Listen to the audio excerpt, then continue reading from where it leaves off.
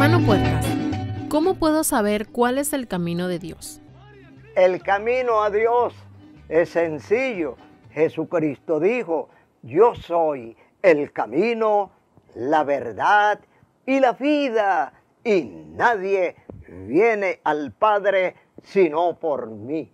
Cristo es el camino y no hay otro nombre debajo del cielo dado a los hombres en quien podamos ser salvos. Ninguna religión puede cambiar tu ser, la sangre de mi Cristo que hacer.